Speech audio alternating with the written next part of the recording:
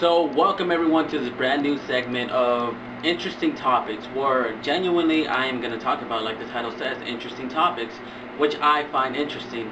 So, it can be basically, it can go from a topic from video games all the way to the paranormal to just topics about government and all those other issues that I might find interesting. Since I do a lot of research on these kind of things, I thought why not and give it a shot, you know, since uh, I don't really do much. Uh, human, well, blog like kind of deals, I thought this might be the case. This might be a good case to kind of go about it. So, anyways, our first topic actually started when back in, I, I believe it was two years ago. It was around the time of Fourth of July. Well, not around the time exactly, but it ended up pretty close around there. I was looking for a hotel to stay at because of an anime expo that was going to happen pretty soon at the Los Angeles Convention Center and around the time we found a hotel, uh, right now I'm blanking the name, but I'm pretty sure I'll give it to you pretty soon. Uh, the, I think it was a Marriott hotel where an incident occurred there, and there's, there's been a lot of mystery surrounding this hotel, and what I found were pretty pretty interesting facts about it, which not a lot of people pay attention to since the cases have been brushed over or simply no one really cares or no one really knows because it's really a very disturbing and pretty mysterious case. Um, most people don't even know about this. It's kind of weird. And this is what I want people to bring to attention. And topics like this is what I'm really genuinely trying to bring forth. Uh, but I mean, obviously, I'm not going to pressure you to watch this whole video, but give it some thought. And let me know in the comment sections what you think about this one girl who this, I assume, I believe they called it a freak accident, but I'm not sure it was. There may be more to this case than we know, but sadly, we will never know at this point because not a lot of people have come forth or don't really know what happened. So let me give you the brief introduction of it. The mysterious case of Emily something. I forget her name. Damn. The case of Alyssa Lam is mind-boggling from the get-go. From her death all the way to the videos found in the surveillance hotel, to the newer hotel management desk, and the history of the Say of the Salit Hotel. A 21-year-old student from Vancouver, Canada, was found dead on the rooftop of the Salit Hotel inside the water tanks. And if that wasn't strange enough or even confusing enough for you, it was ruled as an accident from the drowning, and the autopsy showed no rule showed no foul play, no drug use, and no, no alcohol use for that matter. Grim discovery at a downtown LA hotel. Police say the body found in a hotel water tank is that of a 21 year old Canadian tourist, Elisa Lam. KTLA's Eric Spillman joins us. What a bizarre discovery it was yesterday. Let me show you some pictures of firefighters on the roof here of the Cecil Hotel. The body was found in a large water tank on the rooftop.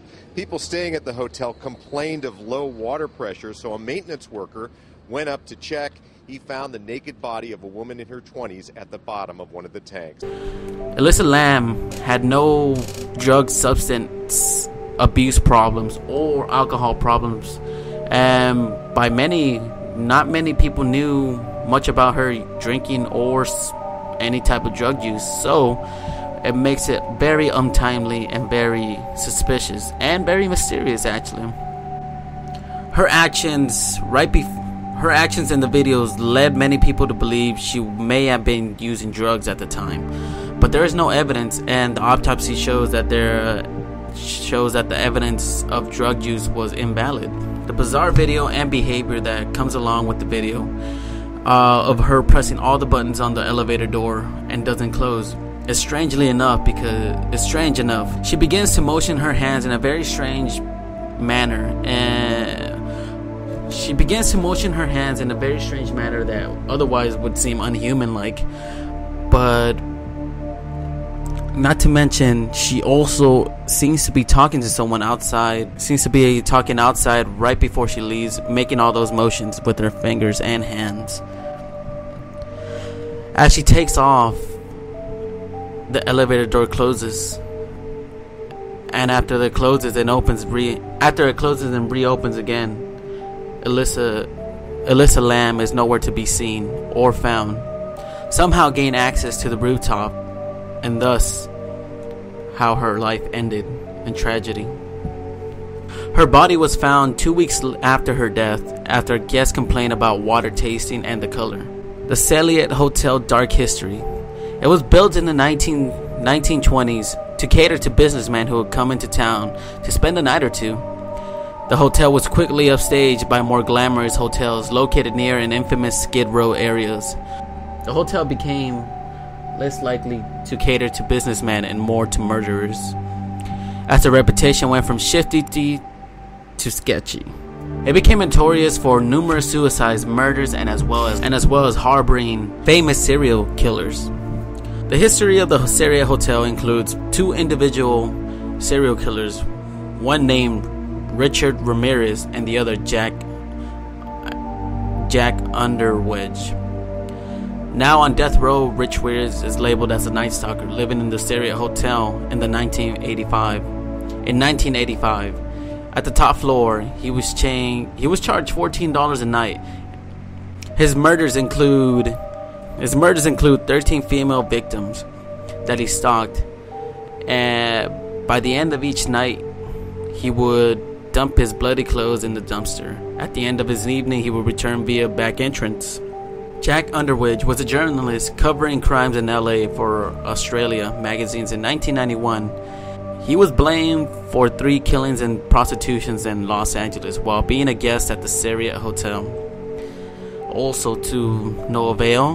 In the 1950s and 60s, the Celiat Hotel was uh, was known as a place where people would go to jump out of the hotel windows and commit suicide. Helen Grins in the 1950s leaped off the seventh floor, landing on the Celiat Hotel on October 22, 1954. Juliet Moore jumped from the eighth floor window on February 11, 1962. Paula Olton, 27, jumped from the ninth floor all after an argument with her established husband on October 12, 1962. Landed on George Guinin, 65, who was walking on the sidewalk 90 feet below. Both were killed instantly. There was also another case where also murder was one of the residents. Pigeon Goldie All School, a retired telephone operator known for protecting and feeding pigeons in the nearby park, was found dead in a rans- ransacked room on June 4th, 1964. He had been stabbed, strangled, and raped. The crime still remains unsolved. Wasn't right. It, it, there was something wrong. The, the pressure in the water was terrible. The shower was awful. The water, and when you turned the tap on, the water was coming black first for two seconds, and then it was going back to normal. Alyssa Lam's case is yet another soldering addition to the hotel's history, and can add, and can lead us to ask, what the hell's wrong with that place? Also, in Hollywood news related to this case, the movie Dark Waters is solely based on Alyssa Lam's death. The 2005 hit horror, the main protagonist of the movie appears in the apartment of a young daughter. In the movie, the daughter's name is Celia, obviously quite similar to the Celia Hotel. The ending of the movie is also eerie, relevant to the apartment building elevator malfunctioning and the ghost of Celia's mother bra- braids her hair. Is Elliot Lamb's death one of these ritual, one of these ritual murders that are synchronously mirrored to, into Hollywood movies? That is a question you must ask yourself. So you'll see parallels to this movie.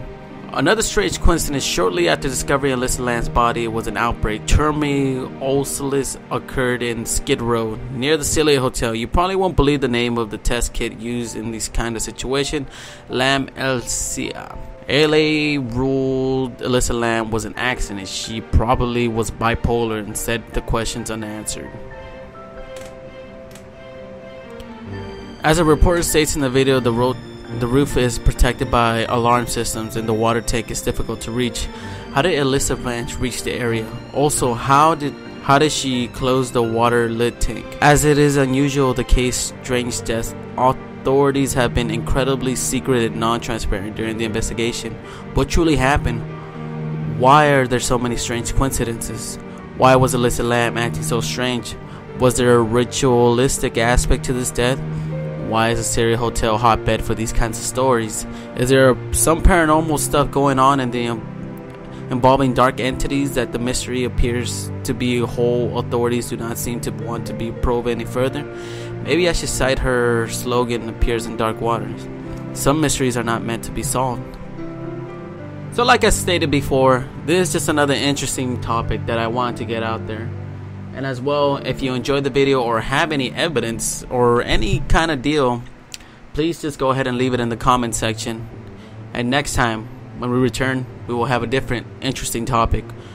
And if you have any interesting topics you would like to submit or just wanna want me to say something about them, go ahead and leave it in the comment section. Hey guys, if you liked the video, please leave a like and comment and share the video around. It shows your support to a lot of fucking people. And as always, have a good one.